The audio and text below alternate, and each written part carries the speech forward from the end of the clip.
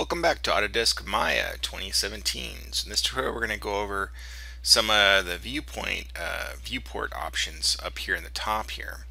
So if I click on any of these drop down menus you'll see lots of different sort of things. Here's the different renderings. So we have viewport, legacy, and then uh, leg legacy high quality viewpoint. So you can try, try these different uh, viewers here.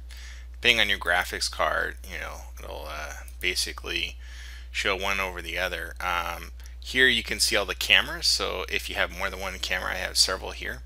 You can create a new camera by just clicking on that. Uh, there's orthographic views here if you need to set it to a specific orthographic view. Uh, you can look through selected camera. Uh, you have panel options and then uh, a few other options down here. Then we have the show menu, which kind of went over last tutorial where uh, right now I, I have everything selected but I could choose none. And then I could start to bring back some things like for example I could bring back um, polygons it would just be polygon geometry. I'm going to go ahead and choose show all. Uh, under lighting we have different we have the default lighting here uh, but we can do two-sided sided lighting. This is good for uh, showing uh, flipped normals so if you have a black area on the polygon, usually that's how it's visible. Uh, you can use no lights, which is that one there, or you can use flat lighting, which is good for showing silhouettes. So if I was just looking at the silhouette here, uh, let's see, turn off two lighting, and then um, of course you can uh, use selected lights if there's a particular one, or just use the default lighting here. Under shading, we have different shading options. We have wireframe, uh, we have flat shaded, uh, we have uh, flat shaded select items. We have wireframe on shaded is very popular because it shows the shaded but also shows some of the wireframe. Just straight wireframe of course. And these are all have hotkeys that we kind of went over in previous tutorial but they are again 4 for wireframe, 5 for shaded solid, 6 for textured, and 7 for lighting. So I will go back to shade solid here. Under uh, the shading, you also have some other options that are pretty important. We have um, X-ray joints, wireframe on shaded, checked. Um, if you don't have any textures, uh, hardware texturing is pretty important to have on here in order to see your textures. So uh, that's an important one to show. And then under the view menu, we have things like you can select the camera, you can uh, cycle through cameras, you can um, align camera and so forth. So there's the main options here. Uh, the next thing I want to talk about is all these little widgets here. And a lot of these are sort of reflected up here uh, for many things. So the first one here on the far right, again, this is the bottom left here. It'll show what it is if you just hover over it. But we have x-ray joints so if I let's turn off some of this stuff. Let me turn off the uh, NURBS curves. And uh, let's go to shading and choose uncheck wireframe on shaded so you can see here we have the T-Rex with bones inside. So if I turn off this uh, x-ray you'll see that we can't see the bones out inside the geometry kind of see it towards the outside but you can't see on the inside so by turning that on you can see it in there. And um, you know these are just for the components. Then there's X-ray mode, which basically makes everything kind of trans translucent in a way where you can see through it, um, the objects here. Let's click off there. The uh, next one here, if I click on an object and I want to isolate it, I can choose this one with the arrow. This is the isolate select. So now uh, the T-Rex is the only thing in the viewport here. So I can uncheck that. Um, the next ones have to do with like uh, aliasing. Eh, if I add that, it just smooths it out a little bit more. Uh, there's motion blur if there was some animation. Ambient occlusion, let me turn on, um, let's go to lighting and we'll use all lights and let's see, um, we'll add shadows. So you can see here shadow and I'll deselect the T-Rex and I'll turn off the uh, joints. There you go. So it's a little easier to see here. So you got some shadow here. And uh, what I wanted to show you was, let's see, where is it here?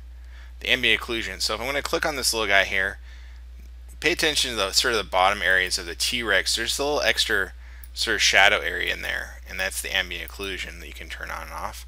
Here's the actual shadow tab. So this little guy here turns off the shadow. Here's the light, so it basically chooses the default lights versus the um, directional lights I have here set up.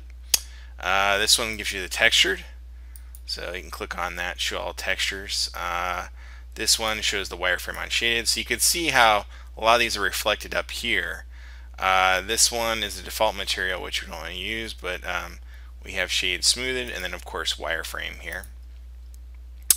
These little widgets here, from here to here, have to do with the viewport in terms of uh, setting up for animation. So the first one here, this one is the film gate, and it kind of shows you the aspect ratio. Uh, there's two different kinds. There's the resolution gate, which gives you the actual uh, aspect ratio here. And there's a gate mask that you can turn on and off here. So that's kind of cool. But you can also, uh, you can toggle between the film gate and the resolution gate. The resolution gate is going to be a little more accurate. You can see here, uh, right now I have it set to 1280 by 720, where the film gate uh, is doing more of an HD kind of quality film here. So let me turn this one on. The next ones, if we click on here, the field chart basically uh, provides a grid that shows over the whole image here. Um, don't really need to see that right now. But the next one, the safe action. This basically provides you a safe area of action, so you don't want to go beyond the bounding box here uh, for any very important action. And the next one is for a safe title area. So this is if, if you're going to create a title sequence in here, uh, you'd want it to be inside this bounding box for the rendering. Okay. Some of these other widgets, we have grease pencil if you want to mark up the, the scene here.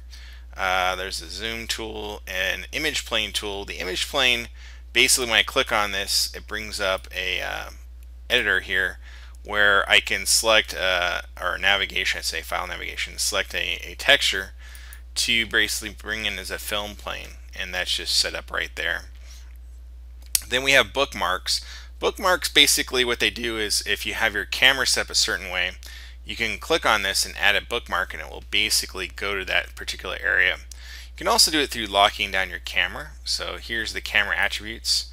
If you click on that, it opens up the attribute and uh, basically your camera attributes here. It shows up. So you can do that. And so if you need to adjust focal length, angle of view, and so forth. But this one here, the one with the little lock here, if I click on this, what's really cool about this, if I hold Alt or Option, try and zoom, pan it out, nothing's happening. It's because this camera's locked.